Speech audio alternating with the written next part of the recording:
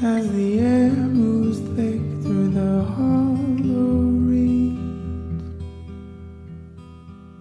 Will you wait for me there until someone comes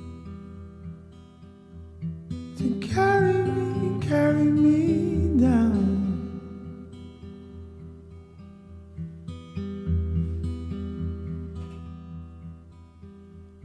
See, I have. I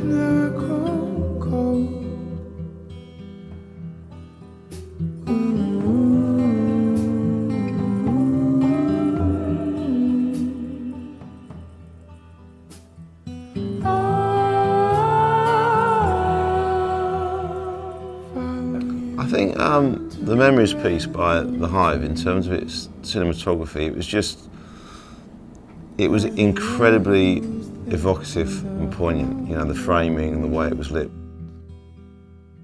It was incredibly naturalistic, so it was about making something beautiful and poetic and sometimes shocking by just simply using the framing, the location. There was no tricks, it was just purely beautiful photography.